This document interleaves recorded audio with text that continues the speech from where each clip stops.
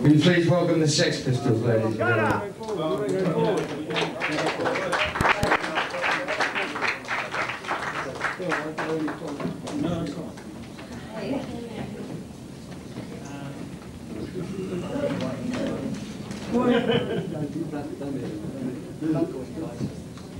Everyone happy here? Can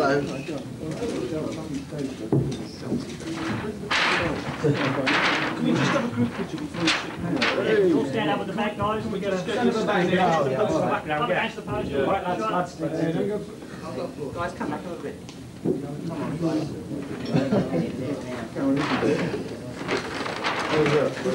Evening, chat. All down the front, guys. Come on, Johnny, Johnny, Johnny, Johnny, Johnny. Okay, this way, this way, yeah. Stand there, don't get back on the Just do an extra photo together, please. No, No, okay. I'm fine standing where I am. John, just down the middle, that's very much. Cheers. Don't be looking this way, please. Thanks, chaps. Stand here, lads. Cheers.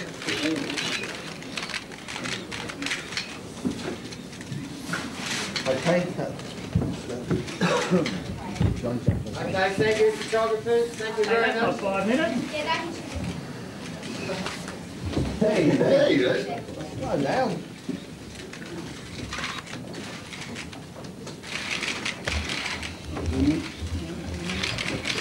That's vultures, isn't it?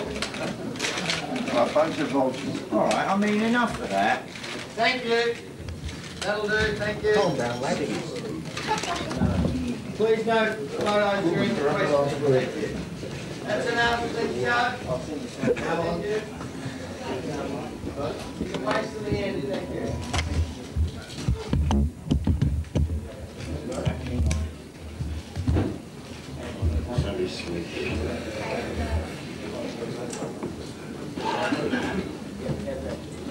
Uh, G'day. Um, Dino from Daily Telegraph.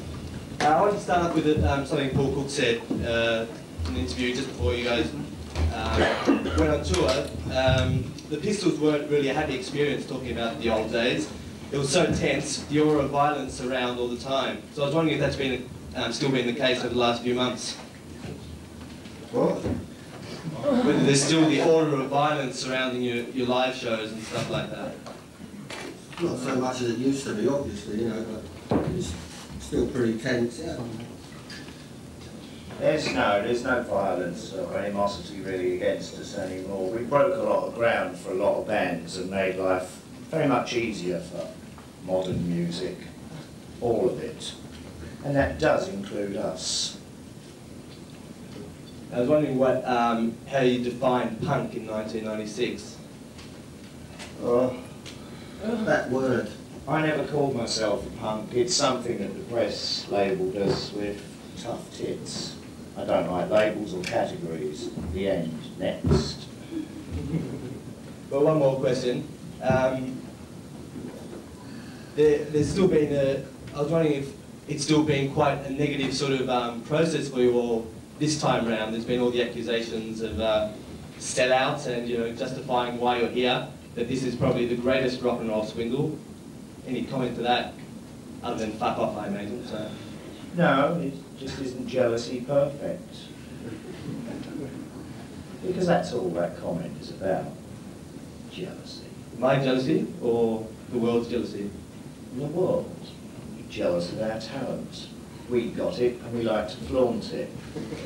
Excellent, thank you.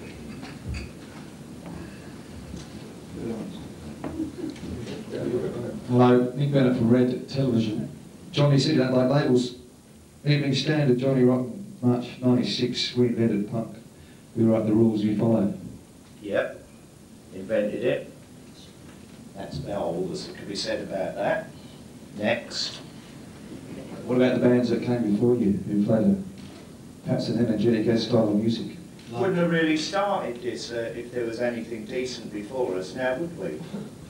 That's the point to it. We were bored shitless. There's nothing out there but dinosaur rock. Unfortunately, there still are dinosaurs. I read your book, Matt, Mr. Matlock over the weekend, but what was so special about the summer of 1977 in London that inspired this music to come through? Well, there was nothing special, that's why we did it. There was nothing going on. And there was kids on the street who felt there was a mood that people wanted to get involved in something, but we were the forerunners of it. We were the vanguard, we were the flag wavers. And they rallied round us. And badly copied us. Mm. And still are to this day. Which is surely the point and purpose for us to be here. For you, Johnny, uh, what was it like uh, growing up in London uh, as uh, an Irishman? Vile. But a lot better than growing up in Ireland, which is even viler. Do you think that's what inspired a lot of your anger? No. I guess I was just born this way.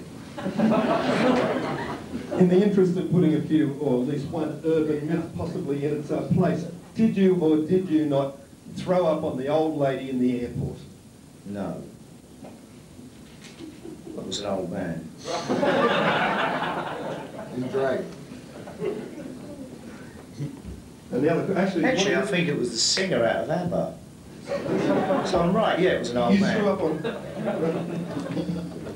and given that, well, uh, need to sit again. Given that you've actually, that there's been much said about the fact that the Sex Pistols regrouped in order to make the money they didn't make the first time around, and given that there was lots of figures being paid out by record companies when they dispensed with the services, who got the money? Lawyers. Yeah, lawyers and the tax man, I'm the afraid. The usual. There wasn't that much money anyway. Most of it had to be given back for damages, I think was the term used. Yes, Manning Record Company office was redecorated in those days. Not to the label's liking. How much did McLaren get? Nothing. Rachel Kerr from Triple J. How much fun are you actually having this time around? Are you having plenty? Glenn Matlock, you look like you've gone out of a gutter to come to this press conference. Thank you fucking lot. You ain't so handsome yourself, dear. Jesus. You look like you could do it a shave. I'm on the radio, I'm not on the stage. You look like Sammy Hagar. Thanks very much. My first question, are you having fun yet? First, the, Well, it wasn't until then, yes. Who, who said uh, touring we, in a band? look, we never pretended to be the prettiest boys in the world. This isn't about good looks here. It's actually about talent, whether you like it or not. The songs we wrote are still valid. They're tough little ditties and they actually mean something. They're not banal love songs. You can't really have much fun when you go around playing Anarchy in the UK and God Save the Queen all the time. What's on the rider? Warner. No beer? Mars bars. Very little beer, not much need for it. I got bored with that habit. How are relations within the band? Are they getting better as you as the tour progresses, or you're still friends? Oh, we love each other. What about you, Glenn? I mean, it was, I don't know, Johnny called you a mummy's boy one time, didn't he? I mean, is that, was it hard It making still up? is. Oh, I love my mum. He's lucky he's got one, you see. Some of us don't. Glenn, with all the abuse that you copped from John over the years, um, why did you want to get back together? He's broke. Yeah, something to do with it. I think it was to That's all it's to do with. It's not. It was to establish what the band was about the first time round, which got missed out, which was the music. Is it really about that, or is, is it anything more than money, this tour? No, I just told you. Why are you doing against There's an attitude that you've got to understand. A lot of people grabbed the name Sex Pistols and turned it into their own little whatever, their own little fantasy, and uh, I find that disgusting. This is what it is. Well, It's fed about us. We wrote these songs We're together. up with people It's not about history. wankers rewriting history for us. You either like what we do or you don't. Quite frankly, I don't give a fuck. We just need to redress the balance, you know, of all the crap that's been said over the years, and if anyone deserves a real one, this band does. All the rest don't. How much is technology crept into your shows now that you're doing it 20 years on? How different is it? I think there's a distinct lack of technology that shows you don't need all that crap. Lots of bands have acres and acres of gear on stage, and they end up sounding crap. We have no gear on stage, we sound great. If you bother to look at the stage, you'll find out that it's exactly the same equipment we always use. The only real difference is that we have monitors this time. We can actually hear what we're doing. Everyone's claimed credit for the Sex Pistols at some stage. Yes, it's a shame, isn't it? McLaren, Ross Stapleton's been named. Who? Um, Who? Never heard of him. a publicist used, I believe, by Virgin at the time. Um, do you think it's it's time for you to Oh, put your names forward It's time for us to... or deny it? Well, who's, who, who really is responsible? McLaren claims it was Look, SAB, it- Henry isn't it real others. simple? Just look at the record and see who gets songwriting credit. The end. So it's just That's songs. it. It was the sound service responsible, not the image, not the publicity. You can have all that imagery going on, but quite frankly, if there's no content, it doesn't last very long now, does it? It didn't last very long, did it? It lasted long enough, and we're here now, and you're here to see us. I think that's lasting quite well. Thank you very much. Have you sorted out all your problems? It's a success that we dragged you off your fat asses to here, isn't it? Welcome to the Millionaires Club, boys and girls. Have you sorted out all your problems with Malcolm McLaren? Sorted out what? Your problems with Malcolm McLaren? We've got no contact with him at all. We, we haven't got a problem with him. He might have a problem with us, but... Uh, it's insignificant. Always was to me. It's irrelevant. He's just a very bad manager. Johnny, you're... Mr. Mr. Mr. Rob, Nick Penn here from the Today FM morning crew. Uh, thanks for that. Uh, are you anything more than just a uh, bunch of tired old rockers cashing in? Come and see us and find out yourself. Right, uh, what, uh, what plans do you have to make money when the tour ends? Don't have any. May- Maybe a sitcom? Yeah. Can I suggest the old ones? No? I'm not, I'm not even going to bother to deal with you and your cliches. Next. Johnny, in February, I think you said that you'd made not a penny won and you hadn't got previously any respect. What's more important to you, money or respect, or are they, are they on an equal footing? I would think respect for me. I do have a, an alternative career. I'm very happy with my public image. I'm very happy with my solo project, which will follow this tour. Respect more than the money, always. I enjoy making music. It is my life, my hobby. Philosophically, are you offering new young punk audiences anything new that they haven't heard before? and giving them a chance to try this lot out. They never have before. The Pistols hardly ever toured, mostly because of uh, ignorance of local councils or governments or whatever. We were banned from just about everywhere. Now, why I've no real idea. I don't think what we've done is that offensive. It's just honest. How Maybe being that's so far? Extremely, By the young extremely well, surprisingly so. To my mind, I would have thought there would have been a, a lot of animosity because the press has been extremely bitter, particularly the British press. Uh, once we got out of England, that seemed to have changed. Bitter about the fact that you. Bitter about the fact that we ever existed. There's just such a, a, a resentment there. They just don't like the working class to do well at anything. You know, that's, that's the trouble. We're upstarts, you see. Johnny, you're... We challenged the system and won. Do you see anything in Australia's system to challenge? I haven't been here long enough. Uh, that's your problem, not mine. I'll be gone next week. What you do is your own business. What about I'm not here to pontificate and tell you to like execute your government at dawn, but it wouldn't be a bad idea. Back home then, I mean, is there stuff going on back home that, um, that you want to re-examine? In other words, write new stuff? If you mean about Britain, I couldn't give a toss about the country any longer. I left there a long time ago. Not much intention of ever living there again. What about Europe then? No, I don't like Europe either. It's dilapidated. There's a second-hand vibe about all of it. Where do you like It's it? worn out. I don't like anywhere, to be quite frank. I mean, that's, you know, probably my motivation. I've yet to find something that suits me. Any punk bands now that you like? Again, that's a label, it's a category, I'm not too interested Well, in that. I like all music and at the same time not very much of it. What attracted you to work in that field? They're mates of mine. Why do you think our government should be executed at dawn? Well, that's your problem, isn't it? Because they're there. I've, again, I've not met a government that I think's doing a decent job. They're all liars. Politicians, by their very nature, have to be liars. Don't you think that's a tragedy? Or do you want it to stay that way? So is anarchy the answer?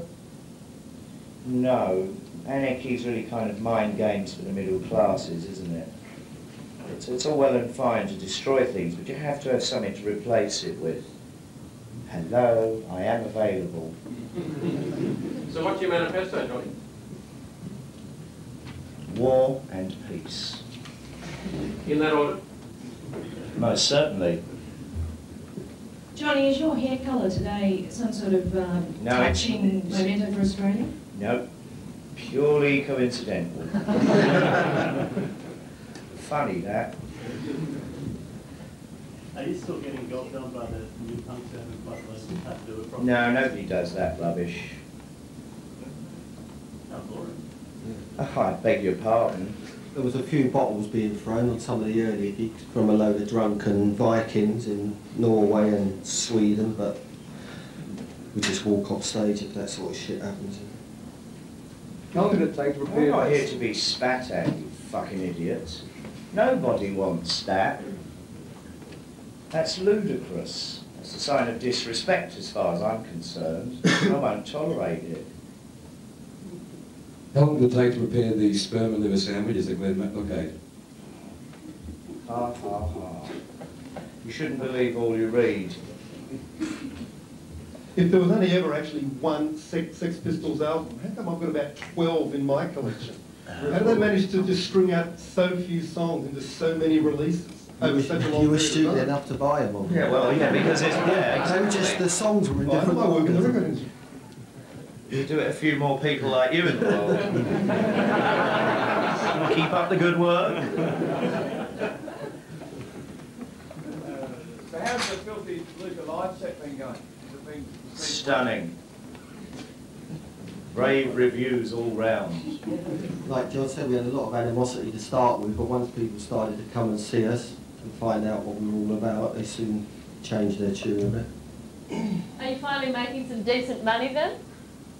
We're earning some money, but not loads, not millions.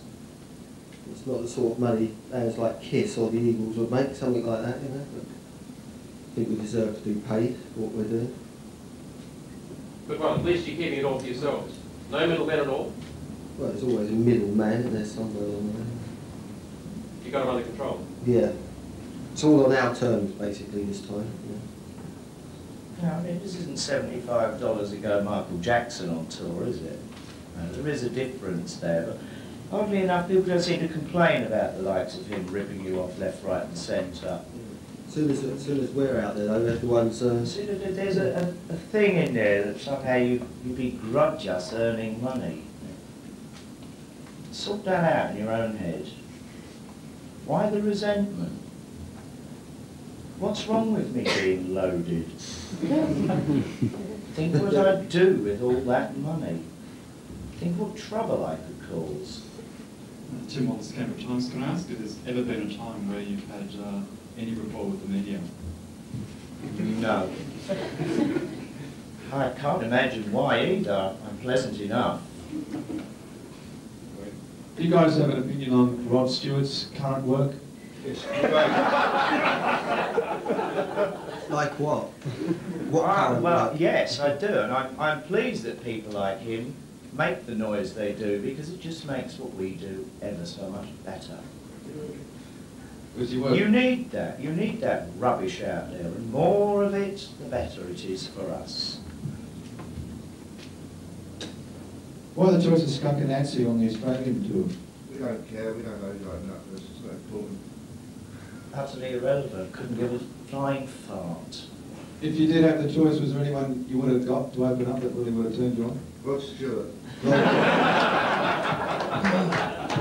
Ron Farris would have been all right.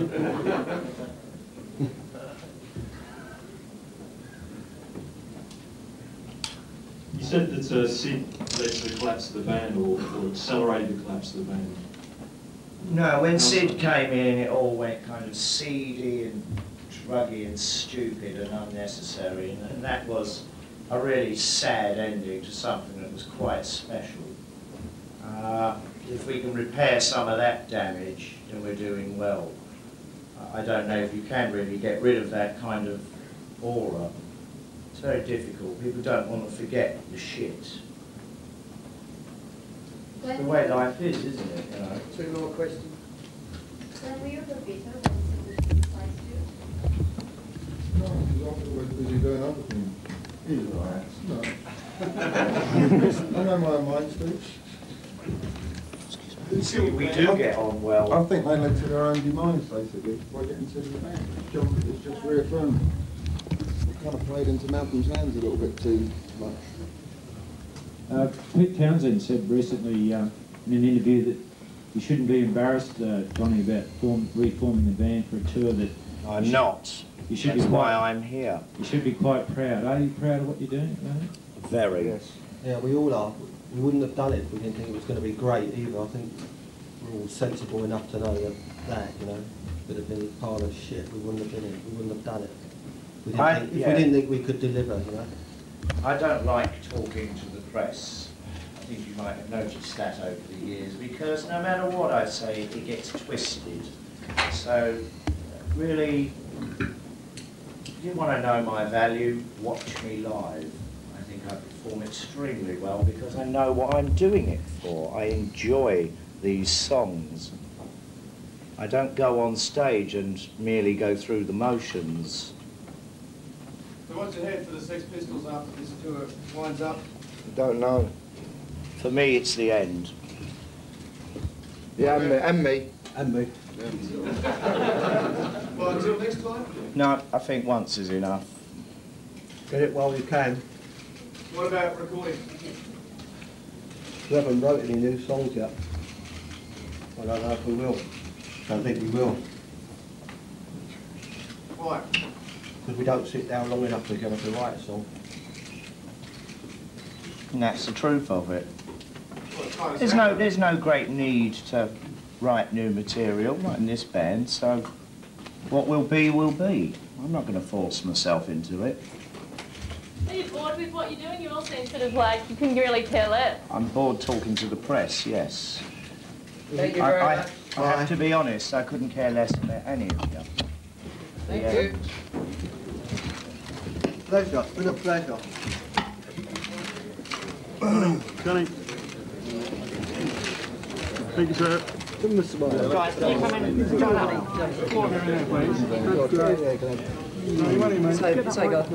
Please don't knock the fucking table over and you'll rush. Yeah, you tell him, Shaggy. John, John, John, this way. John, John, excuse me, John, John, John, this way, John. Johnny, what do you mate? This way, guys. Guys, all this way. John, John, I've got Johnny, what do you mate?